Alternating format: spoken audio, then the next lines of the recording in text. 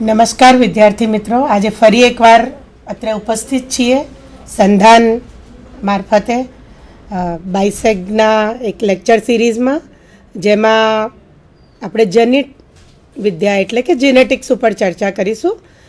અત્રે મારી સાથે મારા એક કલીગ પણ ઉપસ્થિત છે. આપને એમનો પરિચય કરાવી દઉં.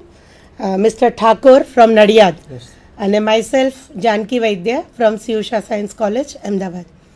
તો વિદ્યાર્થી મિત્રો, આજે જીનેટિક્સની જે આપણે ચર્ચા કરવાની છે, તો આગળ એક આપણે ઓલરેડી સેશન થઈ ચૂકેલું છે, જેમાં આપણે બેઝિક જીનેટિક્સ અને એને જે અપવાદો છે એની ચર્ચા કરી છે. તો આજે બીજા ત્રણ વિષયોની આપણે ચર્ચા કરવાની છે. એક છે બહુવૈકલ્પિક જનીનો, એટલે કે મલ્ટિપલ એલેલ્સ બીજું છે પોલિજેનિક ઇનહેરિટન્સ એટલે કે બહુજનીનિક આનુવંશિકતા. અને લિથલ જીન્સ એટલે કે ઘાતક જનીનો. હવે ઇંગ્લિશ ટર્મિનોલોજીનો યુઝ હું ફરી એકવાર આપને યાદ કરાવી દઉં કે જ્યારે આપણે જેનેટિક્સ જેવા વિષયમાં જતા હોઈએ, જે ગ્લોબલ છે અને બડિંગથી ઘણું આગળ નીકળી ચૂક્યું છે, તો એમાં આપણે ઇંગ્લિશ ટર્મિનોલોજીની જાણકારી જરૂરી છે. વિષય આપણે ચોક્કસપણે ગુજરાતીમાં સમજીશું. પણ જ્યારે ઉદાહરણો જોઈએ અથવા એની ટર્મિનોલોજી તો એ ટર્મિનોલોજી પણ આપણે ચોક્કસ ધ્યાનમાં રાખીશું. એટલે આપણે મલ્ટિપલ એલેલ્સની શરૂઆત કરીએ. એ પહેલાં હું જસ્ટ બે મિનિટ આપને યાદ કરાવી દઉં કે જે ગ્રેગર જોહાન મેન્ડલ, જે જનીન વિદ્યાના પિતા તરીકે ઓળખાય છે. અને એમણે જે શોધ કરી કે ત્રણ જેમ એકનો રેશિયો મોનોહાઇબ્રિડનો, એટલે એક સંકરણનો, નવ ત્રણ ત્રણ એકનો રેશિયો પ્રમાણ જે છે દ્વિસંકરણનું, એ સ્થાપિત છે અને મોટાભાગના કેસીસમાં એ પ્રૂવ પણ થયેલું છે, સાબિત છે. પણ જેમ જેમ જનીનોમાં વિકૃતિઓ આવે છે, ફેરફાર આવે છે અને અનેક જાતિઓમાં તમને ભિન્નતા પણ જોવા મળે છે. તો એ બધી ભિન્નતાઓને આપણે અભ્યાસમાં લઈએ છીએ તો આપણે બે ઓલરેડી એવા અભ્યાસમાં કરી ચૂક્યા છે. એક છે સમપ્રભાવિતા અને એક અપૂર્ણ પ્રભાવિતા તો મિત્રો, આપણે શરૂઆત કરીએ મલ્ટિપલ એલએલ્સથી મલ્ટિપલ એલએલ્સ એટલે શું? તો એનું આપણે ગુજરાતી કરીએ છીએ બહુ વૈકલ્પિક જનીનો. હવે જે મેન્ડલ હતા ગ્રેગર જોહાન મેન્ડલ, એમને મલ્ટિપલ એલએલ્સ વિશે કશું જ નહોતું. એમને માત્ર બે વૈકલ્પિક સ્વરૂપો બતાવ્યા હતા. તમને બધાને ખબર છે, વટાણાનો ઊંચો છોડ અને નીચો છોડ, તો એના બે વિકલ્પો, એક કાં તો ઊંચો હોય, ક્યાં તો નીચો હોય. પણ જો બે કરતાં એની વધુ અભિવ્યક્તિ જોવા મળતી હોય, તો ચોક્કસ પ્રશ્ન થાય કે આના વૈકલ્પિક સ્વરૂપો બે કરતાં વધુ છે. બરાબર છે? તો આપણે મલ્ટિપલ એલએસથી શરૂ કરીએ. એની વ્યાખ્યા તમને ખ્યાલ આવી જ ગયો હશે, મેં કહ્યું એ પ્રમાણે કે એક જ લક્ષણની અભિવ્યક્તિ. લક્ષણ એટલે આપણે બધાને ખ્યાલ છે. આપણા વાળનો રંગ, આંખનો રંગ, બરાબર છે કે છોડની ઊંચાઈ, પુષ્પનો રંગ, એ બધા લક્ષણો કહેવાય. તો એની અભિવ્યક્તિ માટેના જે જનીનો છે, એ જનીનોને આપણે વૈકલ્પિક જનીનો કહીએ. અને અભિવ્યક્તિ ક્લિયર છે કે બે કરતાં વધુ હશે. તો આવો આપણે મલ્ટિપલ એલએલ્સનો અભ્યાસ કરીએ. આપ ટેલિટોપ પર એના લક્ષણો જોઈ શકશો. મિત્રો બહુ વૈકલ્પિક જનીનો નામ આપણે અર્થ પહેલાં સમજી લીધો. સામાન્ય રીતે મેન્ડલ પ્રમાણે બે વૈકલ્પિક સ્વરૂપો છે, એની પણ આપણે ચર્ચા કરી. જે પ્રદર્શિત થાય છે, તેને આપણે પ્રભાવી કહીએ છીએ. નથી થઈ શકતું પ્રભાવીની હાજરીમાં, એને આપણે પ્રચ્છન્ન કહીએ છીએ. નેચરલી સંખ્યામાં બે કરતાં વધુ છે. બધા જ જનીનો સંયુક્ત રીતે બહુ વૈકલ્પિક જનીનોની શૃંખલા કહેવાય. ઇટ ઇઝ અ સિરીઝ અથવા એને શ્રેણી પણ કહી શકાય. હવે એના લક્ષણો શું છે? તો આપણે મુદ્દાસર એનો અભ્યાસ કરીએ કે પહેલું લક્ષણ તો આપણે વ્યાખ્યામાંથી જ સમજ્યા કે તેની સંખ્યા બે કરતાં વધુ છે. આ બધા જ જનીનો સ્વાભાવિક છે કે એક જ લક્ષણની અભિવ્યક્તિ માટે જવાબદાર છે. હવે આપણું એક જનરલ નોલેજ શું છે કે કોઈપણ દૈહિક કોષમાં જનીન કેટલા હોય તો માત્ર બે. એટલે વૈકલ્પિક સંખ્યા ભલે ત્રણ, ચાર, પાંચ, છ, સાત, આઠ ગમે તેટલી હોય એન નંબર પણ કોઈપણ એક સજીવમાં દૈહિક કોષો જે દ્વિકીય છે, એમાં માત્ર તમને બે જ જોવા મળશે. એવી જ રીતે જનન કોષો જે છે, એ એક જ સેટ ધરાવે છે, એટલે જનન કોષોમાં માત્ર એકની હાજરી જોવા મળશે. હવે આ બધા જ જનીનો કોષ કેન્દ્રની અંદર જે રંગસૂત્રો આવેલા છે, એની ઉપર એક જ સ્થાન ધરાવે છે. હવે તમને ખ્યાલ આવી ગયો હશે મિત્રો, કે જો અલગ અલગ સ્થાન ધરાવે તો એક રંગસૂત્ર ઉપર ઘણા બધા સમાઈ શકે. ખ્યાલ આવ્યો આપને? કે ઓડિટોરિયમમાં સીટ્સ હોય અને ઘણા બધા જનીનો છે તો બધા અલગ અલગ સીટ પર ગોઠવાઈ શકે. પણ માત્ર બે સીટ ફાળવી હોય, તો આઠ કે દસ સંખ્યા હોય તો એમાંથી માત્ર બે જ ગોઠવાઈ શકે. એટલે એક નિયમ એવો પણ છે, એક લક્ષણ, કે એનું ચોક્કસ સ્થાન છે. બરાબર? ત્યારબાદ એક જ જગ્યા છે એટલે એ લોકો અંદર અંદર અદલા બદલી કરી શકતા નથી. એક સજીવમાં જે હોય એ જ એટલે ક્રોસિંગ ઓવરની ઘટના પણ જોવા મળતી નથી. અને છેલ્લું અને મહત્ત્વનું લક્ષણ, કે આપણને પ્રશ્ન થાય કે આ બધા જ એક જ અભિવ્યક્તિ માટે જવાબદાર છે, તો આનો ફેર શું? આમાં કોઈ તફાવત ખરો? તો ચોક્કસ આપણે ઉદાહરણોની મદદથી જોઈશું. ત્યારે સ્પષ્ટ ખ્યાલ આવશે કે શું ફેરફાર હોઈ શકે. તો તીવ્રતા, જેને આપણે શેડિંગ અથવા રેન્જ કહીએ. ફોર એક્ઝામ્પલ કાળાથી સફેદ રંગ સુધી આપણે જવું હોય, તો ધીમે ધીમે કાળો હોય એમાં સફેદ ઉમેરતા જઈએ એટલે ધીરે ધીરે એની શેડ્સ બદલાતી જાય. એ બધી એની અલગ અલગ અભિવ્યક્તિ કહેવાય. હવે આપ સ્ક્રીન પર જુઓ જે મેં કહ્યું, એનો આપને અર્થ ખ્યાલ આવશે. કોટ કલર ઇન રાબિટ્સ એટલે સસલામાં ચામડી પરના વાળની ભાત. હવે આપ સ્પષ્ટપણે જોઈ શકશો કે આ જે છે, આ સંપૂર્ણપણે રંગીન અથવા ડાર્ક છે. એના પછી સહેજ સફેદ છે. આ પણ એને મળતું જુળતું છે. અને આ આખું સફેદ છે, માત્ર એના કાન ને એ બધું છે. એ અથવા ઉપાંગોના છેડા, નાક, કાન, પૂંછડી એ કાળું છે અને આ સંપૂર્ણપણે સફેદ છે. બરાબર છે? હવે આને ડિટેલમાં આપણે સમજવું હોય તો કેવી રીતે સમજીએ? તો એની ઉપર એના જનીનિક સંકેત પણ આપેલા છે. Capital C C C H C H અને સ્મોલ સી હવે મિત્રો, એક વસ્તુ આપણે ધ્યાનમાં રાખી લઈએ. કે જનીન સંકેત એટલે શું? કદાચ તમારા માઇન્ડમાંથી સ્કીપ આઉટ થઈ ગયું હોય તો. કારણ કે જનીન એ શું છે? મૂળ ડીએનએ છે. અને ડીએનએ આપણને નરી આંખે દેખાતું નથી. એટલે જનીનને આપણે કંઈક સંજ્ઞા આપીએ છીએ. અને આ સંજ્ઞા મેં તમને હમણાં સસલાના કેસમાં capital C C C H C અને એ બધા જોડમાં હોય છે. બરાબર? હવે કેવી રીતે થાય છે? તો જે સંપૂર્ણપણે અથવા આદિ પ્રકારની રચના છે આજે સૌથી પહેલી તમને દર્શાવીએ છે સંપૂર્ણપણે આદિ પ્રકારની. એમાં વાળ જે હોય છે સંપૂર્ણપણે રંગીન હોય છે. અને એક પીળા પટ્ટાની હાજરી વાળમાં હોય. તમે જસ્ટ તમારો પોતાનો એક વાળ કલ્પી જુઓ, જે સ્કિનમાંથી નીકળીને બહાર સુધી જાય છે. તો સ્કિનની નજીકનો જે ભાગ છે, ત્વચાની નજીકનો, ત્યાં એક પીળો પટ્ટો દેખાય. અને એ પીળા પટ્ટાની ઉપરનો ભાગ આખો રંગીન હોય. ત્યાર પછીની બીજી વેરાયટી, આ જે પહેલી વેરાયટી મેં તમને કીધી એગાઉટી છે. આ જે વેરાયટી છે એગાઉટી છે, બીજી વેરાયટી અને ત્રીજી ઓલમોસ્ટ સેમ છે, જેમાં પીળો પટ્ટો ગેરહાજર હોય છે, માત્ર રંગીન વાળ, પણ એમાં થોડોક સફેદ રંગ પણ ઉમેરાયેલો છે. એટલે કેવો દેખાશે સિલ્વરી ગ્રે ત્યારબાદ જેને હિમાલયન નામ આપેલું છે. આ થર્ડ ફોર્થ વાળો. હિમાલયન એટલે શું? તો હિમાલયની ચોટીઓ જ્યારે આમ તો બરફ આચ્છાદિત હોય એટલે આખી સંપૂર્ણપણે સફેદ વેરી ઇન્ટરેસ્ટિંગ તમે ધ્યાનથી સાંભળજો. કે હિમાલયન જે હોય એ બરફ આચ્છાદિત હોય. જ્યારે બરફ ઓગળે સિઝન પ્રમાણે, ઋતુ પ્રમાણે જ્યારે બરફ ઓગળે, એ વખતે એની ટોચનો ભાગ ખુલ્લો થાય છે. એટલે કે માટીનો ભાગ દેખાય છે. એટલે આખું શરીર હિમાલયનું જે છે, એની રચના એ સફેદ અને એનો છેડો કાળો. તો તમે અહીંયા સ્પષ્ટપણે સ્ક્રીન પર જોઈ શકશો કે એના કાન, એના નાકનો છેડો, એના પગના. એટલે ઉપાંગોના જે છેડા છે, એ જ માત્ર ડાર્ક છે, બાકી બધું શરીર સફેદ છે. અને ચોથો પ્રકાર છે આલ્બિનો અથવા સફેદ. આલ્બિનો અથવા સફેદ એટલે શું? કે કોઈપણ રંગવિહીન અવસ્થા, જ્યાં રંગ દ્રવ્યની સંપૂર્ણપણે ગેરહાજરી છે. તો મિત્રો, આમાં જુઓ ચારે ચાર ફિગર્સ તમે જુઓ, પાંચ ફિગર્સ તો તમને ખ્યાલ આવશે કે બધા જનીનો જે છે વાણેના રંગ માટે જ છે. બરાબર? પણ દરેકની અભિવ્યક્તિ અલગ અલગ છે. એક સંપૂર્ણપણે કાળો પીળા પટ્ટાવાળો રંગ બતાવે છે.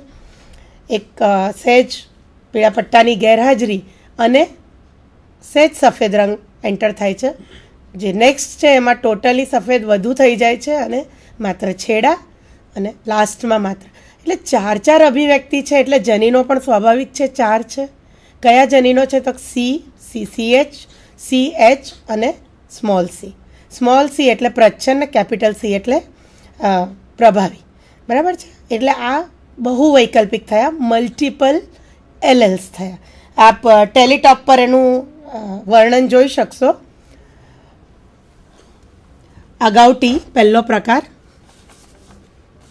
સીધું કરી દો. હા, સીધું જવા દો. અગાઉ ટી, પહેલો પ્રકાર, જેમાં રંગીન વાળ.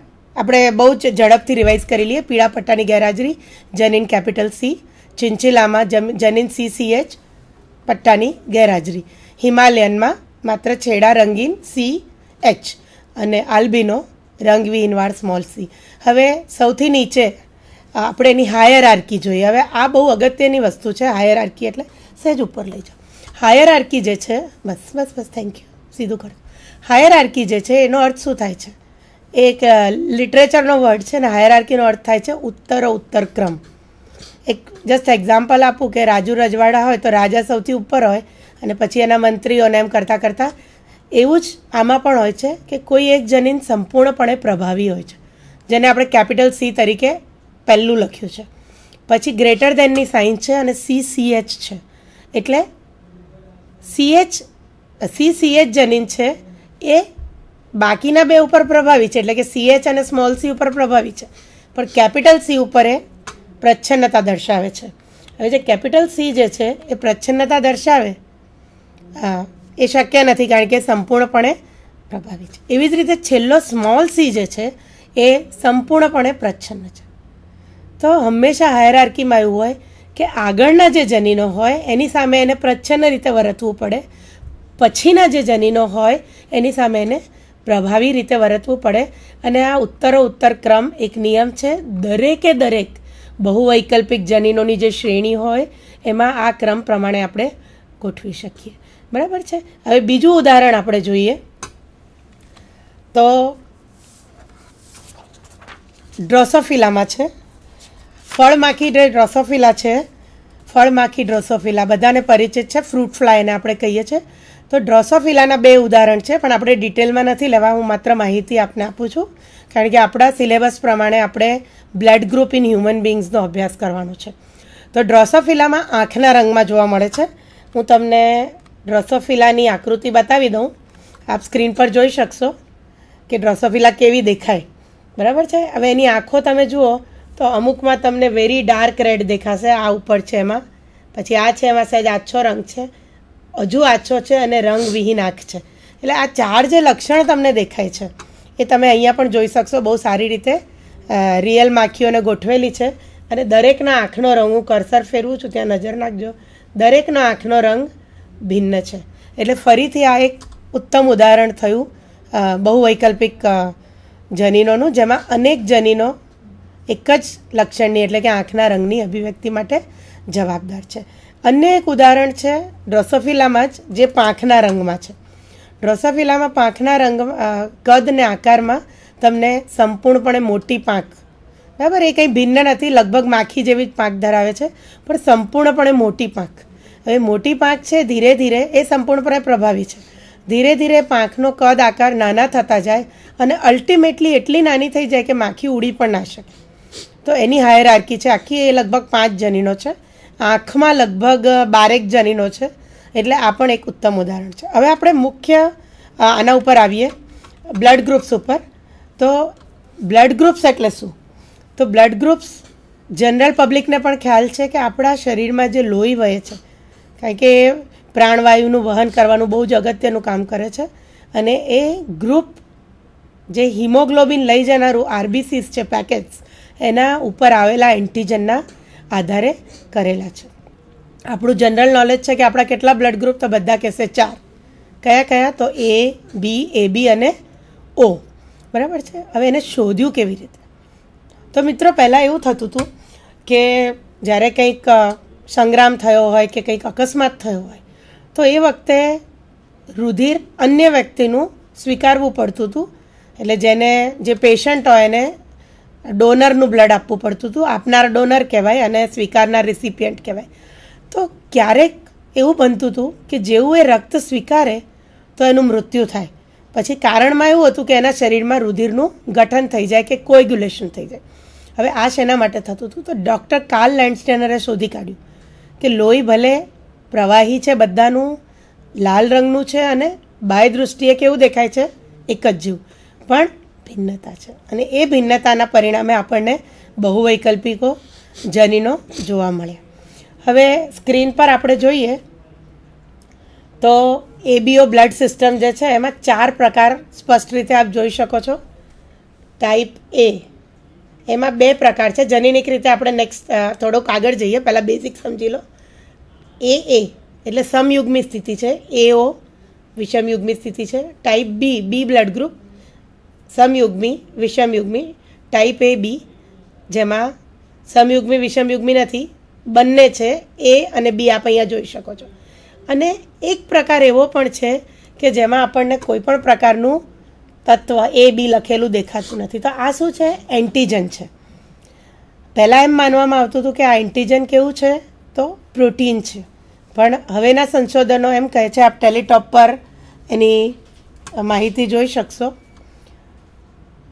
May I have the teletop please antigen જે છે, એ ક્યાં હોય છે તો એનું સ્થાન મિત્રો ધ્યાનમાં રાખજો. રાતાકણ ઉપર, આરબીસીસ ઉપર. અને ડૉક્ટર કાર્લ લેન્ડસ્ટેનર એના શોધક હતા હવે એન્ટીજન જે છે એ રાતાકણ પર છે એમ વાત થઈ, તો આ એન્ટીબોડી ક્યાંથી આવ્યું? તો દરેક એન્ટીજન માટે એક એન્ટીબોડી હોય, જો ભેગા થાય એન્ટીજન એન્ટીબોડી, તો એ એન્ટીજન એન્ટીબોડી પ્રક્રિયા કરે અને એન્ટીજન એન્ટીબોડી કોમ્પ્લેક્સ બનાવે. હવે જ્યારે પણ આ કોમ્પ્લેક્સ બને, મિત્રો, હું ફરીથી રિપીટ કરું છું કે જ્યારે પણ આ એન્ટીજન અને એન્ટીબોડી એક જ જેવા હોય જે ભેગા થાય અને પ્રક્રિયા થઈને એન્ટીજન એન્ટીબોડી સંકુલ બને, તો રુધિર પોતાનું પ્રવાહી સ્વરૂપ ગુમાવે છે. અંદર જે રાતા કણો છે, આપણે ગોળ ગોળ જાણીએ છીએ એની રચના, તો રાતા કણો જે છે, એ બધા ભેગા થઈને ગંઠાઈ જાય છે. અને બહુ જ સ્વાભાવિક છે કે રાતા કણો જ્યારે ગંઠાય, તો આપણું શરીર, આપણે જાણીએ છીએ કે હાર્ટમાંથી જે નળીઓ નીકળે મોટી મોટી હોય. એટલે એમાં કદાચ અંદર એનું ડ્રેનેજ થઈ જાય. પણ જ્યારે કોષ સુધી પહોંચે, રુધિર કોશિકાઓ સુધી, તો જેવી રીતે ગટર ચોક થઈ જાય, એવી રીતે આ આરબીસીસ જે ભેગા થયા હોય, એ ચોકિંગ કરી દે. અને મિત્રો, ચોકિંગ થાય એટલે સ્વાભાવિક છે કે કોષોને પ્રાણવાયુ મળે નહીં. એની અંદરનો કાર્બન ડાયોક્સાઇડનું પ્રમાણ વધી જાય. એની અંદર જે ચયાપચયને પરિણામે યુરિયા, અમોનિયા, ક્રિએટિનિન, જે કંઈ કચરો ભેગો થયો હોય સામે એને પોષણ પણ મળે નહીં. એટલે અલ્ટિમેટલી એ ફેટલ પ્રૂવ થાય, એટલે કે સજીવનું મૃત્યુ થાય. આપ વ્યાખ્યા ફોર્મ્યુલા જોઈ શકો છો. એન્ટીજન વત્તા એન્ટીબોડી એ એન્ટીજન એન્ટીબોડી કોમ્પ્લેક્સ બનાવે. અને મ્યુકોપોલિસેકરાઇડ છે શુગર વત્તા, એટલે પ્રોટીનની સાથે એમાં શર્કરા પણ છે. હવે આપ સ્ક્રીન પર જોઈ શકશો. આપણે ફરીથી પાછા આવીએ. તો મેં જે તમને એન્ટીજન એન્ટીબોડીની વાત કરી તો હવે તમને વધારે સરસ ખ્યાલ આવશે કે આ જે કેપિટલ એ લખેલા છે, એ બધા એન્ટીજન્સ છે. બરાબર છે? હવે બીની નીચે જુઓ. આ જે સ્મોલ એ લખેલા છે, સ્વાભાવિક રીતે આપણે સાંકેતિક રીતે એન્ટીજનને કેપિટલથી દર્શાવતા હોઈએ છીએ અને એન્ટીબોડીઝને આપણે સ્મોલ લેટર્સથી બતાવતા હોઈએ છીએ હવે તમને પ્રશ્ન થશે કે આની નીચે કેમ નથી? આની સાથે કેમ નથી? તો આગળ મેં તમને જણાવ્યું પ્રમાણે જો એન્ટીજન એ હોય બરાબર છે? તો એન્ટીબોડી એ એના શરીરમાં ક્યારે પણ હોઈ શકે નહીં. શા માટે? તો એન્ટીજન એની સાથે જો એન્ટીબોડી એ હોય તો એના જ શરીરમાં રુધિરનું ગઠન થાય અને એ મૃત્યુ પામે. પણ અન્ય પ્રકારના એન્ટીબોડી હોઈ શકે, એટલે કે બી હોઈ શકે. એન્ટીજન એ છે અને એન્ટીબોડી બી છે. એન્ટીબોડીનું સ્થાન મિત્રો રુધિર રસમાં છે. જ્યારે એન્ટીજનનું સ્થાન રાતાકણ પણ આ જે રેડ દેખાઈ રહ્યા છે આપણા આરબીસીઝ અથવા રક્તકણો છે. એવી જ રીતે બી એન્ટીજન હોય તો એન્ટીબોડી બી હોઈ શકે નહીં અને માત્ર એન્ટીબોડી એ હોઈ શકે, કારણ કે કોઈ પ્રક્રિયા શક્ય જ નથી. ત્રીજું, જેમાં એ અને બી છે, અહીંયા નન લખ્યું છે. નનનો અર્થ છે કોઈ પણ પ્રકારનો એન્ટીબોડી નથી. શા માટે? ધારો કે એન્ટીજન એ તો છે, એટલે એન્ટીબોડી એ હોય તો પાછી પ્રક્રિયા થાય. એન્ટીબોડી બી હોય તો પણ પ્રક્રિયા થાય. એવી જ રીતે ઓ બ્લડ ગ્રુપ, જ્યાં કોઈ પણ એન્ટીજન નથી, ત્યાં બંને પ્રકારના એન્ટીબોડીની શક્યતાઓ છે. એટલે આપણને સ્પષ્ટ ખ્યાલ આવી ગયો કે કઈ રીતે એન્ટીજન અથવા એન્ટીબોડીની હાજરી હોય છે. મિત્રો, એન્ટીજન એ હોય એટલે બ્લડ ગ્રુપ એ. એવું સમજવાનું. એન્ટીજન એની હાજરી બ્લડ ગ્રુપ એ કરે, પણ એમાં પાછા બે પ્રકાર પડી શકે. એક સમયુગ્મી અને એક વિષમયુગ્મી. બરાબર? કારણ કે પ્રભાવીપણાનું લિસ્ટ આપણે પછી આગળ ફોર્મ્યુલા જોઈ લઈએ. એવી જ રીતે એન્ટીજન બી હોય તો એન્ટીબો blood group B antigen A અને બી બંનેની હાજરી છે તો બ્લડ ગ્રુપ એ બી અને કોઈ પણ એન્ટીજન નથી તો આપણે એને બ્લડ ગ્રુપ ઓ આપીએ. એટલે બેઝિક ખ્યાલ આપણે આવી ગયો. હવે આપણે ટેસ્ટ કેવી રીતે કરીએ છીએ? આપણને ખબર કેવી રીતે પડે? તો આપણી પાસે સાયન્ટિફિક રીતે એ લોકો એન્ટી સીરા બનાવે છે એટલે એન્ટીબોડીઝ આ જે ફર્સ્ટ કોલમ છે, તમે જુઓ અહીંયા ગાડી ઓ બ્લડ ગ્રુપ છે, જેમાં કોઈ પણ એન્ટીજન નથી. તો એન્ટીબોડીઝ તમને બધી દેખાશે અને રુધિરનું ગઠન થયેલું દેખાય છે. બરાબર? એમાં કોઈ પણ એન્ટીબોડી નથી, એટલે અહીંયા ગઠન નથી થતું. અહીંયા એન્ટી એ તમે કરો છો, તો ગઠન થાય છે. બરાબર? અને અહીંયા પણ કરો છો. આ જેટલા છે, આ ક્લોટિંગ થઈ ગયેલું છે, આ રીતે આપણા શરીરમાં પણ પ્રક્રિયા થાય છે. અને એને લીધે આખું ગંઠાઈ જવાને કારણે મૃત્યુ થાય છે. જનીનિક રીતે ખાસ ધ્યાન આપો, તો આ જે છે જીનોટાઈપ, જેને આપણે આઈ તરીકે નામ આપીશું. ત્રણ જનીનો કરીશું એટલે બે કરતાં વધુ થયા, એટલે બહુ વૈકલ્પિક જનીન થયા. આઈ જે છે, તો આઈ એ હોય તો એન્ટીજન એ, એટલે કે બ્લડ ગ્રુપ એ. આઈ બી હોય તો બ્લડ ગ્રુપ બી. બરાબર છે? અને આઈ એ બી બંને હોય તો બ્લડ ગ્રુપ એ બી. એટલે આ ચાર બ્લડ ગ્રુપ આપણે ઝડપથી આ ટેબલ રિવાઇઝ કરી જઈશું. બ્લડ ગ્રુપ ઓ જેમાં કોઈ પણ એન્ટીજન નથી એટલે આઈ ઓ આઈ ઓ એવી જ રીતે બ્લડ ગ્રુપ એ જેમાં આઈ એ આઈ એ અથવા આઈ એ આઈ ઓ હવે આઈ એ ને આઈ જનીન પ્રકાર જે છે મિત્રો, એમાં શું થાય છે? કે ઉત્તરોત્તર ક્રમમાં મેં જેમ કીધું એમ પ્રમાણે આઈ એ જે છે એ આઈ ઉપર પ્રભાવી છે. કારણ કે આઈ જે છે એ કશું બનાવતું જ નથી. આઈ કશું જ નથી બનાવતું. એટલા માટે આપણે એને ઉતરતા ક્રમમાં મૂકીએ છીએ. પહેલું શું મુકાય છે? તો આઈ એ. બરાબર છે? હવે આપ ધ્યાનથી જુઓ કે જનીન આઈ એ, જે મેં તમને કીધું એ જ છે કે આઈ એ એન્ટીજન એ માટે જવાબદાર છે. આઈબીઆઈ અચ્છા, આમાં એક વસ્તુ મારે હજુ એક ઉમેરવી છે કે એ એન્ટીજન માટે હજુ ચાર જનીનો શોધાયા છે. એટલે એના ચાર ગણીએ, બીનો એક અને ઓનો એક. એવી રીતે કુલ છ થાય છે. તમે એને ગમે તે રીતે સ્ટડી કરી શકો છો. આઈ એ તરીકે ક્યુમ્યુલેટિવ સિંગલ અથવા I A one A two A three A four તરીકે જે નીચે દેખાય છે વિસ્તારપૂર્વક. તો આની હાયરાર્કી શું છે? I A is equal to I B લખ્યું છે એનો અર્થ છે કે બંને પ્રભાવી છે અને બંને જ દેખાય છે. આમાં હાયરાર્કી નથી, સમપ્રભાવિતા છે.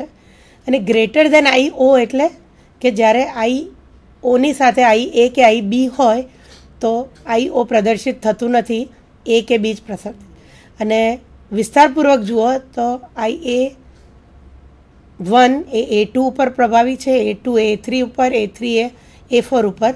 અને આઈબી સાથે બધા જ સમપ્રભાવિતા દર્શાવે છે. અને એ રીતે એની હાયરાર્કી આપણે જોઈ શકીએ છીએ. આપ સ્ક્રીન પર જોઈ શકશો, એક અલગ રીતે પણ આપણે દર્શાવ્યું છે કે એન્ટીજન એની હાજરી છે તો આ પહેલો પ્રકાર છે બ્લડ ગ્રુપ એ એ બી અને ઓ આપ જોઈ શકો છો કે ઓમાં કોઈ પણ પ્રકારનો એન્ટીજન નથી અને એટલા માટે જ આપણે એને સર્વદાતા કહીએ છીએ. દાતાનો એન્ટીજન ગ્રાહકના શરીરમાં જઈને આ બધી ગરબડ કરે જે આપણે કીધું રુધિરના ગઠનની પ્રક્રિયા, તો આની પાસે તો કશું છે જ નહીં. એટલે આ ગમે તેના શરીરમાં જાય કોઈ પ્રોબ્લેમ નહીં. ખ્યાલ આવ્યો? એટલા માટે આપણે એને રક્તદાતા કહીએ છીએ. જ્યારે અન્ય કેસમાં શું થાય છે કે એન્ટીજન એ હોય અને ગ્રાહકના શરીરમાં આપણે દાતાના શરીરમાંથી એન્ટીબોડી એ આવ્યું, તો એન્ટીજન એન્ટીબોડી સંકુલ રચાશે. એટલે આપણે એ વાળાને બીનું ના આપી શકીએ બી વાળાને એનું ના આપી શકીએ, એ આપણને ખ્યાલ આવે છે. આ મેં ઓલરેડી આપને બતાવી ચૂકેલી છું. ટેલિટોપ પર એક મિનિટ આપ નજર નાખી લો. એક બે ટર્મ્સ મારે આપને સમજાવવા છે. પછી આપણે આ જે ચિત્ર દેખાય છે એની ચર્ચા કરીએ. એક એચ એન્ટીજન અને બોમ્બે ફિનોટાઈપ કહીએ છીએ નોર્મલી આજે આપણે સ્ટડી કર્યો એ એન્ટીજન બીનો ને બધો. પણ એક બોમ્બેમાં બોમ્બેના એરિયામાં એક આપણે શોધાયું છે. એ અલગ ટાઈપનું એન્ટીજન એની વેરાયટી બતાવે છે, એટલે એને આપણે બોમ્બે ફિનોટાઈપ તરીકે ઓળખીએ છીએ અને એની પ્રક્રિયા એન્ટીજન એન્ટીબોડીની અલગ હોય છે. અને જો એ પ્રક્રિયા થાય તો ફરીથી મૃત્યુ થવાના ચાન્સીસ રહે છે. ત્યારબાદ આપણે આરએચ ફેક્ટરની વાત કરીએ. મિત્રો, તમને ખ્યાલ હશે કે આપણે બ્લડ ગ્રુપ બોલીએ છીએ ત્યારે એ કે બી કે એવું માત્ર નથી બોલતા. આપણે એ પોઝિટિવ, એ નેગેટિવ એવું બોલીએ છીએ. તો ડૉક્ટર કાર્લ લેન્ડસ્ટેનરે જે શોધ કરી, એના પછી આપણે એક નવી શોધ થઈ અને મંકીમાં એટલે કે વાંદરામાં થઈ, જેનું નામ હતું મકાકા રીસસ. અને એના ઉપરથી આપણે આરએચ નામ પાડ્યું છે. તો એ અને બી એન્ટીજન ઉપરાંત આપણને અમુક વ્યક્તિઓમાં આ આરએચ એન્ટીજન પણ જોવા મળે છે. પ્રક્રિયા એની પણ સેમ છે. જો આરએચ એન્ટીજન અને આરએચ એન્ટીબોડી ભેગા થાય, તો ફરીથી ગઠન થાય. હવે આની ઇમ્પોર્ટન્સ ક્યાં છે તમે સમજો. બેઝિક્સ પહેલાંની જેમ જ છે કે જો આરએચ એન્ટીજનની હાજરી છે, તો આપણે એને આરએચ પોઝિટિવ કહીશું. દાખલા તરીકે મારું બ્લડ ગ્રુપ છે, ઓ પોઝિટિવ તો મારી પાસે આરએચ એન્ટીજન છે. બરાબર? પણ મારી પાસે એન્ટીજન એ કે એન્ટીજન બી નથી. એવી જ રીતે કોઈનામાં એન્ટીજન એ કે બી માત્ર હોય ને આરએચ ન હોય તો આપણે એને કહીશું આરએચ નેગેટિવ હવે પ્રોબ્લેમ ક્યાં થાય છે જુઓ. તો આરએચ નેગેટિવ વ્યક્તિમાં સામાન્ય રીતે એન્ટીજન હોતા નથી. પણ ક્યારેક રક્તદાન સ્વીકાર્યું હોય એ વખતે જો એના શરીરમાં આરએચ એન્ટીજન પ્રવેશે છે નેચરલી દાતામાંથી, કારણ કે પોઝિટિવ છે. તો એ એની અંદર એન્ટીબોડી ઉત્પન્ન કરે છે. આપણો કુદરતનો નિયમ છે ઇમ્યુનોલોજીનો કે બહારથી કંઈ પણ શરીરમાં આવ્યું હોય, તો આપણે એને રિસ્પોન્સ આપવો એન્ટીબોડી સ્વરૂપમાં. પછી ફરીવાર એને જો પોઝિટિવ બ્લડ ચડાવવામાં આવે, તો એન્ટીબોડી પહેલીવારના બ્લડથી એના શરીરમાં બની ચૂક્યા છે. અને બીજી વાર જે એન્ટીજન આવ્યા તો એ એન્ટીજન એન્ટીબોડી પ્રક્રિયા કરીને બીજી વાર એ ઘાતક નીવડે છે. બરાબર? એટલે ખ્યાલ આવ્યો આપને? હવે આને લીધે એક બહુ જ જોખમી ડિઝીઝ ઉત્પન્ન થાય છે, જેને આપણે કહીએ છીએ એરિથ્રોબ્લાસ્ટિસ ફિટલિસ. આપ સ્ક્રીન પર જોઈ શકો છો. આ જે પહેલું જે છે મેટર્નલ સર્ક્યુલેશન, એટલે પહેલી વારની જે ગર્ભાવસ્થા છે, ત્યારે માતા પોતે નેગેટિવ છે.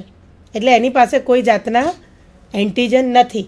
પણ કોઈક કારણસર ક્યારેક જો માતાના શરીરમાં ગર્ભનાળ મારફતે એન્ટીજન પ્રવેશી ગયા, તો એના શરીરમાં એન્ટીબોડી ઉત્પન્ન થશે. જો આ ગ્રીન એરોસથી જે બતાવ્યું છે.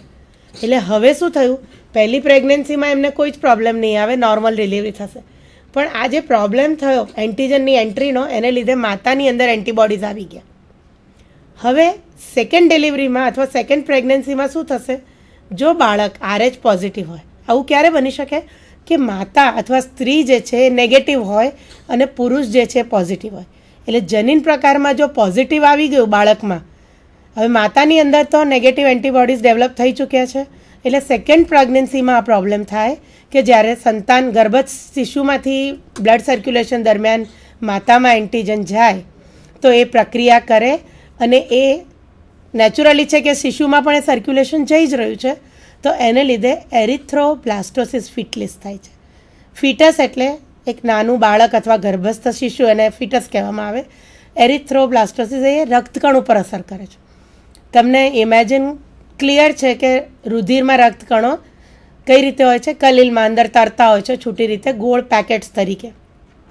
પણ આ જ્યારે એન્ટીજન એન્ટીબોડી પ્રક્રિયા થાય એટલે રક્તકણો બધા ડિસ્ટ્રોય થાય છે. અને જ્યારે લીવરમાં પહોંચે છે, આવા ડિસ્ટ્રોય થયેલા તો એ લીવરની અંદર, એટલે કે યકૃતની અંદર નળીઓમાં ભરાઈ જાય છે. અને એને લીધે જોન્ડિસ થાય છે. તમને ખ્યાલ હશે કે બાળક જન્મે ત્યારે ત્રીજા ચોથા દિવસ સુધી સહેજ કમળો થવો એ કુદરતી છે અને પછી ઓટોમેટિક મટી જાય છે. પણ આવા કેસીસમાં એ ક્યારે મટતો નથી, કારણ કે જીનેટિક પ્રોબ્લેમને લીધે થયો છે અને એને લીધે ગર્ભસ્થ શિશુનું જન્મની જસ્ટ થોડા સમય પહેલાં અથવા જન્મના તુરંત બાદ મૃત્યુ થાય છે, જેને એરિથ્રોબ્લાસ્ટિસિસ ફિટેલિસ કહીએ છીએ આપ ટેલિટોપ પર એનું વર્ણન વાંચી શકશો. ઝડપથી વાંચી જજો, એટલે ઇટ વિલ બી ઇઝી મેં તમને જે ખ્યાલ આપ્યો છે એ પ્રમાણે. આ જે છે એ અનિમિયા સાથે બી છે, કારણ કે આ રક્તકણો જ્યારે ડિસ્ટ્રોય થાય છે, તો એ ઇઝીલી જે હિમોગ્લોબિન એમને લઈ જવાનું છે. એટલે પ્રોબ્લેમ હવે લેટેસ્ટ સંશોધનો પ્રમાણે જો માતાનું અને આગળના શિશુનું કોમ્બિનેશન અથવા એનો સ્ટડી થયો હોય તો વહેલેથી એનું નિદાન થાય છે. એના પ્રિવેન્શન્સ પણ લઈ શકાય છે, જેથી આ રોગ નિવારી શકાય છે. બરાબર છે? સ્ક્રીન પર આપ આનું may have the screen please screen પર આપ એનું એક ઇઝી બીજું ચિત્રણ જોઈ શકો છો. ધીસ ઇઝ ફર્સ્ટ પ્રેગ્નન્સી જ્યાં બધું જ નોર્મલ થાય છે. બિટવીન ટુ પ્રેગ્નન્સીઝ એટલે ડિલિવરી ફર્સ્ટ ડિલિવરી પછી એન્ટીબોડીઝ ડેવલપ કરે છે. અને ત્યાર પછીને સેકન્ડ ડિલિવરીમાં એને આ પ્રોબ્લેમ થાય છે. રાઈટ અને વનસ્પતિમાં પણ આ વસ્તુ જોવા મળે છે. બહુ વૈકલ્પિક માત્ર પ્રાણીશાસ્ત્ર સુધી એ સીમિત નથી. તમે જોઈ શકો છો કે મકાઈ દેખાઈ રહી છે સરસ. બરાબર છે? અને એના દાણાના રંગ કેટલા બધા છે? એના પ્રકાર કેટલા બધા છે? તો બધા જ જનીનો દાણાના રંગ માટે છે પરંતુ અલગ અલગ અભિવ્યક્તિ બતાવે છે, એટલા માટે એને આપણે મલ્ટિપલ એલેલ્સ અથવા બહુ વૈકલ્પિક જનીનો કહી શકીશું. So this is all about multiple alleles હવે આપણે ચર્ચા કરીએ પોલિજેનિક ઇનહેરિટન્સની, જે આપણો નેક્સ્ટ ટોપિક છે. હવે ગુજરાતીમાં ટર્મિનોલોજી થોડીક ટ્રિકી છે. પેલું હતું બહુ વૈકલ્પિક જનીનો અને આ છે બહુજનીનો. Poly means many genic means જનીનો એટલે બહુ જનીનો બહુજનીનો એટલે શું? તો એના વિશે આપણને ઠાકોરભાઈ થોડો ખ્યાલ આવશે. મારી સાથે ઉપસ્થિત. ઠાકોરભાઈ પ્લીઝ બહુજનીની કનોવંશિકતા એટલે આપણે મેન્ડેલના નિયમ પ્રમાણે જોઈ ગયા કે એક જ લક્ષણ માટે બે વિરોધી પ્રકારના જનીનો અસ્તિત્વ ધરાવતા હોય. દાખલા તરીકે ઊંચાઈનું લક્ષણ હોય તો એના માટે બે વિરોધી લક્ષણો ધરાવતા જનીનો હોય. દાખલા તરીકે કેપિટલ ટી હોય તો પ્રભાવી જનીનો માટે સામાન્ય રીતે જનીન વિજ્ઞાનની અંદર કેપિટલ લેટર વાપરવામાં આવે છે. પ્રચ્છન્ન જનીનો માટે સ્મોલ લેટર વાપરવામાં આવે છે. એટલે ઊંચાઈના લક્ષણ માટે બે જનીનો એક સાથે જવાબદાર હોય છે. એમાં કેપિટલ ટી એ પ્રભાવી જનીન તરીકે વર્તે છે અને સ્મોલ ટી એ પ્રચ્છન્ન જનીન તરીકે વર્તે છે. એટલે મેન્ડેલના નિયમ અનુસાર બે જનીનો એક જ લક્ષણ સાથે સંકળાયેલા હોય છે. જ્યારે બહુજનીનિક અનુવંશિકતાની અંદર એવું હોય છે કે એક જ લક્ષણ ઉપર એક કરતાં વધારે જનીનો જ્યારે અસર કરતા હોય, તો એવા જનીનોને બહુજનીનિક અનુવંશિકતા તરીકે ઓળખવામાં આવે છે અથવા પોલિજેનિક ઇનહેરિટન્સ તરીકે ઓળખવામાં આવે છે. હવે એની વ્યાખ્યા આપણે ટેલિટોપ ઉપર જોઈશું. તો વ્યાખ્યાની અંદર એવું છે કે એક કરતાં વધુ જનીન જોડ એક જ લક્ષણની અનુવંશિકતા એક જ લક્ષણની અનુવંશિકતા સાથે જોડાયેલી હોય તો તેને બહુજનીનિક અનુવંશિકતા તરીકે ઓળખવામાં આવે છે. અથવા તો એ વ્યાખ્યાને આપણે બીજી રીતે દર્શાવીએ તો માત્રાત્મક લક્ષણોની અનુવંશિકતામાં વિરોધી વૈકલ્પિક લક્ષણોની બે અથવા વધુ જોડ સંયુક્ત અસર દર્શાવતી હોય, તો તેમને બહુજનીનિક અનુવંશિકતા તરીકે ઓળખવામાં આવે છે. એટલે દાખલા તરીકે માનવીમાં ચામડીના રંગની અનુવંશિકતાનું આપણું ઉદાહરણ આપેલું છે, તો ચામડીના રંગ માટે એક કરતાં વધારે જનીનો સંકળાયેલા છે, એટલા માટે એને બહુજનીનિક અનુવંશિકતા તરીકે ઓળખવામાં આવે છે. આપણે ટેલિટોપ ઉપર જોઈ રહ્યા છીએ કે બહુજનીનિક અનુવંશિકતાનું ઉદાહરણ જોઈએ તો એ સામાન્ય રીતે તમાકુના છોડની અંદર પુષ્પોની લંબાઈમાં બહુજનીનું શિકતાનું ઉદાહરણ જોવા મળે છે.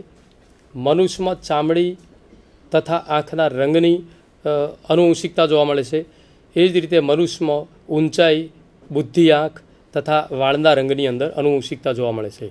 સાચી વાત, ઠાકોરભાઈ. આપ સ્ક્રીન પર હું તમને જે એમને સમજાવ્યું એનું બતાવું કે આ બધા જો આ નિગ્રોઇડ, પછી અલગ અલગ વિસ્તારના લોકો છે જેવી રીતે આપણે સસલામાં જોયું તો એ પ્રમાણે આ વેરી ડાર્ક કલર થોડો કાચો ઘઉંવર્ણ અને શ્વેત. બરાબર છે? આટલા બધા કલર કોમ્બિનેશન્સ જે જોવા મળે છે, એ પોલિજને આધારિત છે. આ એક બહુ જ સરસ છે. બે વસ્તુ દર્શાવે છે. એક તો રંગોની વિવિધતા અને બીજું કે એકતા. Unity is very very important ભલે સિલેબસનો સાયન્સનો વિષય ના હોય, પણ યુનિટી હોય, ત્યાં ટીમવર્ક સરસ થાય અને કામ પણ સરસ થાય, સમજણ પણ ખૂબ સરસ થાય. તો આ જે હાથના કલર છે, તમે જુઓ તો કેટલા બધા જીન્સ હશે, દરેક રંગ માટે અલગ અલગ જીન્સ હશે. બરાબર? હવે એમને જે એક બીજી વાત કીધી, એમાં હું તમને એક બીજી વસ્તુ પણ સમજાવી દેવા માગું છું કે જ્યારે આપણે મલ્ટિપલ એલએલ્સની વાત કરી, તો બધા જ જનીનો એક જ જગ્યાએ હતા. જ્યારે પોલી જીન્સમાં શું છે, એક જ રંગસૂત્ર ઉપર નજીક નજીક ગોઠવાયેલા એટલે એક તફાવત આપણે યાદ રાખવાનો. કે પેલા જનીનોની સંખ્યા આપણે બ્લડ ગ્રુપ્સમાં જોઈ કે ત્રણ હતી આઈ એ આઈ બી આઈઓ તો હંમેશા એકી અથવા બેકી સંખ્યા હોઈ શકે. સસલામાં જોયું તો ચાર હતા C C C H C H વગેરે. પણ પોલિજિનિક જીન્સમાં હંમેશા તેઓ જોડમાં હોય. સિંગલ સંખ્યામાં, એકી સંખ્યામાં ક્યારેય ન હોઈ શકે. બે હોય તો કુદરતી મેન્ડલનું છે, ચાર, છ, આઠ. બરાબર? એટલે એ મિત્રો ધ્યાનમાં ખાસ રાખવાનું કે હંમેશા તેઓ ડ્યુઅલ અથવા બેકી સંખ્યામાં પ્લીઝ ઠાકોરભાઈ કન્ટિન્યુ બહુજનીનિક અનુવંશિકતાની અંદર જનીનો ભલે અલગ અલગ સ્થાન ઉપર આવેલા હોય પણ એ બંનેની અસરો એ સમાન હોય છે. બીજું કે બહુજનીની અનુવંશિકતાની અંદર જે જનીનો કાર્ય કરતા હોય એક જ લક્ષણ ઉપર તો એ દરેકની અસરનો સરવાળો થાય છે. આ બહુજનીની અનુવંશિકતાનો અભ્યાસ સામાન્ય રીતે કૃષિની અંદર અથવા તો એગ્રીકલ્ચરની અંદર અને પશુ સંવર્ધન સુધારણાની અંદર અથવા તો વેટરનરી સાયન્સની અંદર એનો સૌથી મહત્વનો ફાળો છે. અને એપ્સી ગાલ્ટન નામના વૈજ્ઞાનિકે આ વિશે ઘણું બધું કામ કરેલું છે. તો બહુજનીની અનુવંશિકતાની કેટલીક જે જનીનો આવેલા હોય એની કેટલીક લાક્ષણિકતાઓ છે એ હવે આપણે ટેલિટોપ ઉપર જોઈશું. તો એમાં છે બહુજનીની લક્ષણોને માપીને વજન કરીને અથવા ગણીને તેમનું ગુણાત્મક પૃથક્કરણ કરી શકાય છે. બહુજનીની અનુવંશિકતાની અંદર આપણે ગુણાત્મક પૃથક્કરણ કરીએ છીએ. જ્યારે મેન્ડેલના નિયમ પ્રમાણે એનું આની અંદર માત્રાત્મક પૃથક્કરણ કરીએ છીએ, મેન્ડેલના નિયમ પ્રમાણે એનું ગુણાત્મક પૃથક્કરણ થાય છે. એ અહીં એક ડિફરન્સ છે. આ આનુવંશિકતાની અંદર ભાગ લેતા પ્રત્યેક વૈકલ્પિક જનીનોની અસરનો સરવાળો થાય છે. એટલે દાખલા તરીકે ચામડીના રંગ ઉપર બે જુદા જુદા જનીનો અસર કરતા હોય એ અને બી. તો ભલે જુદા જુદા સ્થાનો ઉપર આવેલા હોય પણ બે અસર બેની અસરો સમાન હોય છે અને જેટલા જનીનો ભાગ લેતા હોય એમની અસરનો કમ્બાઈન થાય છે તો આનો સરવાળો આપણે એને ક્યુમ્યુલેટિવ જીન્સ તરીકે ઓળખી શકીએ. બરાબર? આપે જે કહ્યું એમાં હું એક વસ્તુ એડ કરી દઉં કે એમને જે વાત કરી કે મેન્ડલના જે છે એ ડિસકન્ટિન્યુઅસ એટલે કે પુષ્પના રંગ સફેદ કે લાલ છે એ તમે સ્પષ્ટપણે કહી શકો. બે વચ્ચે કોઈ સંબંધ નથી. આ લાલ રંગનું પુષ્પને આ સફેદ રંગનું પુષ્પ બરાબર છે? પણ મેં તમને જે ચામડીના રંગનું હમણાં બતાવ્યું, એમાં તમે એમ ના કહી શકો કે આ કાળું અલગ અને આ ઘઉંવણ અલગ. એમાં તમને કન્ટિન્યુઅસ શેડિંગ જોવા મળશે. એટલે પોલિજીન્સ જે છે, એ કન્ટિન્યુટી બતાવે છે. બીજું એમને જે ક્યુમ્યુલેટિવની વાત કરી, તો ચાર જનીનોનું ઉદાહરણ આપણે લઈશું, ત્વચાના રંગમાં એ તમને સમજાવશે. તો ચારેનું સમ ટોટલ છે. એટલે ક્વોન્ટિટેટિવ ચારેનું સમ ટોટલ છે એ તમને અભિવ્યક્તિ સ્વરૂપે જોવા મળે છે. આમાં કોઈ એક જનીનની દાદાગીરી કે પ્રભાવીપણું ચાલતું નથી અથવા પ્રચ્છન્નપણું હોતું નથી. દરેક જનીન પોતાની રીતે અભિવ્યક્ત કરે છે અને દેખાય એવી અભિવ્યક્તિ એટલે કે સ્વરૂપ પ્રકારે અભિવ્યક્તિ એ બધાનું સમ ટોટલ છે. ટીમ વર્કની જે મેં વાત કરી ઠાકોરભાઈ પ્લીઝ સીબી ડેવનપોર્ટ નામના વૈજ્ઞાનિકે બહુજનીનિક અનુવંશિકતાનો અમેરિકાની અંદર અભ્યાસ કર્યો. એમાં એકદમ વ્હાઇટ અથવા કોકેઝિયન અને બ્લેક અથવા નિગ્રો વ્યક્તિઓ વચ્ચે સંકરણ થવાથી જે સંતતિઓ ઉત્પન્ન થાય છે, એનો એને અભ્યાસ કર્યો. તો એમાં જે નિગ્રો વ્યક્તિ આવેલી હોય, એમાં ચાર જનીનો આવેલા હોય છે. બે જનીનો આવેલા હોય છે અને એ પ્રભાવી સ્થિતિની અંદર આવેલા હોય છે. કેપિટલ એ કેપિટલ એ અને કેપિટલ બી કેપિટલ બી આવેલા હોય છે. કેપિટલ લેટર એ પ્રભાવી જનીનો માટે વાપરવામાં આવે છે. જ્યારે પ્રચ્છન્ન જનીનો એ કોકેઝિયન વ્યક્તિમાં આવેલા હોય છે. તો સામાન્ય રીતે માનવીમાં ચામડીનો રંગ એ મેલેનિન નામના રંજક દ્રવ્ય કણને આભારી હોય છે. જે રીતે માનવીમાં જેટલા પ્રભાવી જનીનો વધારે પ્રમાણમાં હોય, એટલી માનવીના ચામડીના રંગની શામતા અથવા તો ડાર્કનેસ ઘેરાપણું સૌથી વિશેષ પ્રમાણમાં આપણે જોઈ શકીએ છીએ. દાખલા તરીકે બધા જ જનીનો સંપૂર્ણ પ્રભાવી સ્થિતિની અંદર હોય, તો એ વ્યક્તિ નિગ્રો તરીકે ઓળખાય છે. નિગ્રો તરીકે ઓળખાય છે. અને ચારે ચાર પ્રચ્છન્ન સ્થિતિની અંદર હોય, તો એ કોકેઝિયન તરીકે ઓળખાય છે. તો આ બંને વચ્ચે જ્યારે સંકરણ થાય, ત્યારે આપણે ટેલિટોપ ઉપર જોઈશું. તેમાં પિતૃ પેઢીની અંદર એક નિગ્રો વ્યક્તિ છે. જેમાં ચારે ચાર જનીનો પ્રભાવી સ્થિતિની અંદર બતાવેલા છે. કોકેઝિયન વ્યક્તિની અંદર ચારે ચાર પ્રચ્છન્ન જનીનો બતાવેલા છે. એ બંનેના જન્યુઓ તો નિગ્રો વ્યક્તિમાંથી કેપિટલ એ અને કેપિટલ બી જનીનો ઉત્પન્ન થશે. જ્યારે કોકેઝિયન વ્યક્તિમાંથી સ્મોલ એ અને સ્મોલ બી જન્યુઓ ઉત્પન્ન થશે. આ જન્યુઓને કારણે પ્રથમ પેઢી અથવા તો ફર્સ્ટ ફાઇલિયલ જનરેશન જે ઉત્પન્ન થશે, એ ગૌવર્ણા પ્રકારના લક્ષણો ધરાવતી હશે. અને ગુજરાતીની અંદર મુલાટો તરીકે ઓળખવામાં આવે છે. એમાં બે જનીનો પ્રભાવી અને બે જનીનો પ્રચ્છન્ન સ્વરૂપે આવેલા હોય છે. મુલાટો એટલે ગૌવર્ણ જ ને? એ રીતનું એટલે બંને સમપ્રમાણમાં હોય છે. સમપ્રમાણમાં હોય છે. થેન્ક યુ આ ત્યાર પછી સીબી ડેવનપોર્ટે આ જે મુલાટો વ્યક્તિ ઉત્પન્ન થઈ પ્રથમ જનરેશનની અંદર. નિગ્રો અને કોકેજિયન વ્યક્તિઓના સંકરણથી એફન જનરેશન ઉત્પન્ન થઈ જેને મુલાટો તરીકે ઓળખીએ છીએ એ મુલાટો વ્યક્તિઓ વચ્ચે જ્યારે આંતરપ્રજનન થયું ત્યારે એમાં શ્યામથી માંડી અને કોકેજિયન સુધીની આખી આપણને શ્રેણી જોવા મળી. એ શ્રેણી સામાન્ય રીતે અહીં ચાર્ટ ઉપર બતાવવામાં આવેલી છે. તો આ જે મુલાટો વ્યક્તિ હોય, એમાં ચાર પ્રકારના જન્યુઓ છૂટા પડે છે. Capital A capital B, capital A small B, small A capital B અને સ્મોલ એ સ્મોલ બી છૂટા પડે છે. તો એમની વચ્ચે જ્યારે આંતરપ્રજનન કરવામાં આવે, ત્યારે ચાર પ્રકારની સંતતિઓ શામથી માંડી અને ગૌવર્ણ અરે કોકેજિયન સુધીની ચાર પ્રકારની આખી શ્રેણી જોઈ શકીએ છીએ સ્ટેપ બાય સિક્વન્સની અંદર. જેનું આપણે નેક્સ્ટ સ્લાઇડની અંદર ટેલિટોપ ઉપર જોઈશું. ઠાકોરભાઈ મારે એક ક્લેરિફિકેશન જોઈતું હતું કે જ્યારે આપણે પોલિજેનિક ઇન્ટરેક્શનની વાત કરીએ તો મેન્ડલનું જે પ્રમાણ છે એ બદલાય છે? હા મેન્ડલનું પ્રમાણ બદલાય છે. મેન્ડલમાં દાખલા તરીકે પ્રથમ પેઢીની અંદર થ્રી જેમ વન રેશિયો છે. બીજી બીજા બીજા પ્રયોગોની અંદર નાઇન જેમ થ્રી જેમ થ્રી જેમ વન અથવા નવ જેમ ત્રણ જેમ પ્રમાણ, ત્રણ. જેમ એકના પ્રમાણમાં. તો આ બદલાઈને આ મ્યુલેટોને જે આપણે ગણતરી કરી તમે જે ચાર્ટ બતાવ્યો તો એમાં લગભગ એક ચાર છ ચાર એકનું પ્રમાણ જોવા મળે છે. હા. તો આઈ થિંક તમારી પાસે એક સરસ ચાર્ટ પણ છે. એના આધારે એક નજરે આપણને ખ્યાલ આવી જશે. જે ટેલિટોપ ઉપર બતાવેલો છે. હાજી. તો એની અંદર એફ ટુ પેઢીમાં જોવા મળતું સ્વરૂપલક્ષી પ્રમાણ અને જનીનલક્ષી પ્રમાણનો ચાર્ટ છે. જે આપણે આગળ ચક્કરબોર્ડ ઉપર જોઈ ગયા એનો જનીનિક રેશિયો આમાં બતાવેલો છે, જેને phenotypic and genotypic factors of F two generation અથવા ratio of F two generation તરીકે ઓળખવામાં આવે છે. જેમાં ચારે ચાર જનીનો પ્રભાવી સ્થિતિમાં હોય તો એવા વ્યક્તિઓને નિગ્રો તરીકે ઓળખવામાં આવે છે. ત્યાર પછી ત્રણ જનીનો પ્રભાવી હોય તો એ ઓછો ડાર્ક જોવા મળે છે અથવા તો વધારે ઘે થોડોક ઓછો ઘેરો જોવા મળે છે. જેમાં ચાર પ્રકારની સંતતિઓ જોવા મળે છે. જેમાં મિત્રો, આનું કારણ શું છે કે આપણે સ્કિન માટે જે મેલેનિન છે, તો જ્યારે ચારે ચાર ઘેરા હોય તો સ્વાભાવિક છે કે મેલેનિનનું પ્રમાણ મહત્તમ રહેશે. પછી એક ઘેરો ઓછો થાય છે. એટલે મેલેનિનનું પ્રમાણ થોડું ઘટશે એટલે ત્વચાનો રંગ થોડો ઉઘડતો થશે. બરાબર? એ જ વસ્તુ મિસ્ટર ઠાકોર તમને સરસ રીતે સમજાવી રહ્યા છે. અને એમ કરતાં કરતાં આપણે છેલ્લે જોઈએ તો એ શ્વેત ઉપર. કારણ કે ચારે ચાર જે જનીનો છે એ પ્રચ્છન્ન છે અને પ્રચ્છન્ન જનીનો સૌથી ઓછું એટલે કે લઘુત્તમ મેલેનિન ઉત્પન્ન કરશે. એટલે ત્વચાનો રંગ આપને સફેદ જોવા મળે છે. ટેલિટોપ પર આપણે જોઈશું. તો એમાં હમણાં બેને બતાવ્યું તેમ ચાર પ્રકારની જે રેશિયો છે વન જેમ ફોર જેમ સિક્સ જેમ ફોર જેમ વન પ્રમાણની અંદર જોવા મળે છે. કોકેઝિયનમાં સંપૂર્ણપણે ચારે ચાર જનીનો પ્રચ્છન્ન છે. જ્યારે નિગ્રોની અંદર ચારે ચાર જનીનો એ પ્રભાવી સ્થિતિની અંદર છે.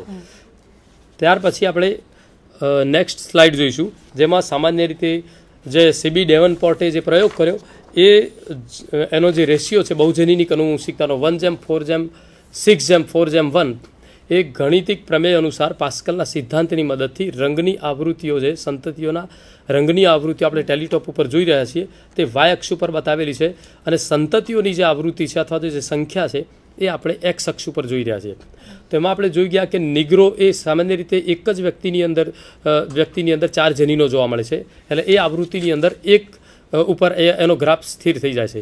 ત્યાર પછી મુલાટો કરતો ઘેરો અથવા તો ત્રણ જનીનો જ્યારે પ્રભાવી સ્થિતિની અંદર આવેલા હોય, તો એવી ચાર સંતતિઓ છે. એ ચાર આવૃત્તિના આલેખ ઉપર ચાર ઉપર એ સ્ટડી થઈ જાય છે. અને મેક્સિમમ સંતતિઓ એ છ છે જે મુલાટો છે. જે સામાન્ય રીતે છની આવૃત્તિ ઉપર ગ્રાફ ઉપર આવીને એ સ્ટોપ થઈ જાય છે. ત્યાર પછી મુલાટો કરતા ઘેરાની અંદર પણ ચારની આવૃત્તિ છે. એ એક્સ અક્ષ ઉપર ચાર આવૃત્તિ સુધીનો ગ્રાફ ત્યાં અટકી જાય છે અને છેલ્લે કોકેજિયન વ્યક્તિ એક જ છે જેમાં ચારે ચાર જનીનો પ્રચ્છન્ન છે જે એક ઉપર આવી અને અટકી જાય છે. મિત્રો આ જ વસ્તુ આપણે સ્ક્રીન પર પણ જોઈ શકીશું. જેમાં થોડુંક હાઇલાઇટ કરીને બતાવ્યું છે. તો આ જે છે ડાર્કેસ્ટ જમણી બાજુ છે અને લાઇટેસ્ટ મેલેનિનનું પ્રમાણ વધતું જાય છે, વધતું જાય એમ એમ આપણું પ્રમાણ પણ વધતું જાય છે. એક જેમ ચાર જેમ છ જેમ ચાર જેમ એક. આ રેશિયો આપણે યાદ રાખવાનો એટલે ખ્યાલ આવશે. બરાબર છે? હવે આપણે પોલિજેનિક ઇન્ટરેક્શન્સને બહુ જ સરસ રીતે સમજ્યા છીએ તો થોડાક એના ઉદાહરણો પણ જાણી લઈએ. ઠાકોરભાઈએ તમને કીધેલા જ હતા, પણ એક બે બીજા ઉમેરી દઉં. ટામેટાને તમે જોયા હશે, પ્લાન્ટ્સની વાત કરીએ તો. તો ટમાટર નાના મોટા સાઇઝના વજનમાં ઓછા વધતા, તો એ જે કન્ટિન્યુઅસ વેરિએશન જોવા મળે છે, મોટાથી નાના થઈને, બરાબર? તો એને આપણે કઈ રીતે જોઈએ છે?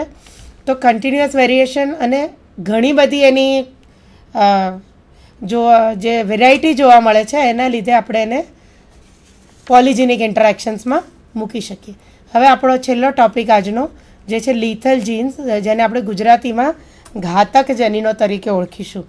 ઘાતક જનીનો એટલે શું? તો નામ પરથી આપને ખ્યાલ આવશે મિત્રો, કે ઘાતક જનીનો જે આપણું મૃત્યુ કરે. સામાન્ય રીતે જનીનનું કામ શું છે? કે જ્યારે સક્રિય થાય, કોઈ પણ જનીન જ્યારે સક્રિય થાય તો કંઈક લક્ષણની અભિવ્યક્તિ કરે. જ્યારે ઘાતક જનીન શું કરે છે? કે અભિવ્યક્તિ ઉપરાંત તે સજીવનું મૃત્યુ પણ નોતરે છે. અને આ જે ઘાતકતા છે, ગમે ત્યારે આવી શકે, સજીવની જે જીવન વૃત્તાંત હોય અથવા એની જે લાઈફ સાયકલ છે તો સૌથી પહેલાં યુગ્મનજની રચના. યુગ્મનજ પછી એનું વિભાજન થાય એટલે મોરુલા, બ્લાસ્ટુલા એમ કરતાં કરતાં આખી ગર્ભાવસ્થા પસાર થાય ને પછી જન્મ થાય. જન્મ પછી બાલ્યાવસ્થા બાલ્યાવસ્થા પછી એડલ્ટ અને ત્યારબાદ વૃદ્ધાવસ્થા. હવે આ ઘાતક જનીનો મોટા ભાગે સજીવને પુખ્તાવસ્થા સુધી કે પ્રજનનની ક્ષમતા સુધી પહોંચવા દેતા નથી. તો આવા જનીનો જે ઘાતક છે એને આપણે લિથલ જીન્સ તરીકે ઓળખીએ છીએ. એની બે વેરાયટી હોઈ શકે છે. એક તો મેં તમને જે પ્રમાણે કીધું કે યુગ્મના જ અવસ્થાથી માંડીને, એટલે ટાઈમ બાઉન્ડ છે. જો કોઈ ઘાતક જનીન ગર્ભાવસ્થાના શરૂઆતના તબક્કામાં સક્રિય હોય તો ત્યારે જ મૃત્યુ નોતરે કોઈ અન્ય ઘાતક જનીન હોય, એ જન્મ વખતે ઘાતક બનતું હોય તો એ વખતે મૃત્યુ એટલે ટાઈમ બાઉન્ડ છે. બીજું એનું પેનેન્ટ્રન્સ કે કોઈ ઘાતક જનીન સંપૂર્ણપણે ઘાતક હોય તો એ સો ટકા ઘાતક કહેવાય. કમ્પ્લીટલી લિથલ કહેવાય અને ચોક્કસપણે મૃત્યુ નોતરે જ. પણ અમુકની જો ઘાતકતા ઓછી હોય, તો એ મૃત્યુના નોતરે પણ કંઈક ખોડખા પણ ઉત્પન્ન કરે. મેન્ટલ રિટાર્ડેશન છે અથવા શારીરિક ખોડખા પણ આપણે એક્ઝામ્પલ સાથે જોઈશું. અને એના મુખ્યત્વે ચાર પ્રકાર પડે છે કે ઘાતક જનીન જો પ્રભાવી હોય તો આપણે એને ડોમિનન્ટ લિથલ કહીએ છીએ, પ્રચ્છન્ન હોય તો રિસેસિવ લિથલ કહીએ છીએ સંજોગો પ્રમાણે આમ નોર્મલ હોય, પણ કંઈક વાતાવરણ બદલાયું કે સંજોગો બદલાયા અને ઘાતક જનીન સક્રિય થયું, તો એવાને આપણે કહીએ છીએ કન્ડિશનલ લિથલ્સ અને જે ચોથા છે, એને આપણે કહીએ છીએ બેલેન્સ લિથલ જેમાં પ્રભાવી અને પ્રચ્છન્ન બંને ઘાતક છે. અને એના લીધે સજીવ જો પ્રભાવી સમયુગ્મી હોય, તો પણ એનું મૃત્યુ થાય. સજીવ પ્રચ્છન્ન સમયુગ્મી હોય, તો પણ મૃત્યુ થાય. એટલે આવા જે પોપ્યુલેશન્સ હોય, જ્યાં બેલેન્સ લિથલ્સ છે, તો એ બેલેન્સ લિથલ્સમાં માત્ર તમને હિટ્રોઝાઇગસ કે વિષમ યુગ્મી જ જોવા મળે. આપણે એના ઉદાહરણોની ચર્ચા પછી કરીએ, પણ એક વેરી કોમન એક્ઝામ્પલ છે, જાણીતું એક્ઝામ્પલ કે ઉંદરમાં પીળા ઘાતક જનીનો. ઉંદરમાં જે પીળા રંગ માટેનું જનીન છે, ચામડી પરના વાળની ભાત માટેનું, એ ઘાતક છે. ક્યારે ઘાતક છે? તો મિત્રો, આપણે સમજી લઈએ કે સમયુગ્મી પ્રભાવી સ્થિતિમાં આપ સ્ક્રીન પર જોઈ શકશો. એનું કઈ રીતનું વર્કઆઉટ છે કે બે પીળા ઉંદરો વચ્ચે સંકરણ કરીએ. હું તમને બહુ જ બ્રીફલી કહું છું, કારણ કે ઠાકોરભાઈ સમજાવશે. તો એની જે પ્રોજીની છે, પ્રોજીની એટલે અહીંયા જે એક ચતુર્થાંશ છે, એ મૃત્યુ પામે છે, એટલે એના માટે લિથલ બન્યા. પછી એ પીળા રંગના છે અને કથ્થઈ રંગના છે. કથ્થઈ અથવા ભૂખરા હોઈ શકે. આપ ટેલિટોપ પર પણ જોઈ શકશો. કે આજે મેં તમને ઘાતક જનીનોની વાત કરી, એમાં ગર્ભાવસ્થા દરમિયાન સજીવનું મૃત્યુ થાય છે. બરાબર છે? આપણે જે એક નોટ કર્યું કે એક ચતુર્થાંશ મૃત્યુ પામે છે, તો મેન્ડલનું જે પ્રમાણ છે, એ ફિનોટિપિકલી સ્વરૂપ પ્રકારે ત્રણ જેમ એકનું છે, પણ જીનોટિપિકલી એક જેમ બે જેમ એકનું છે.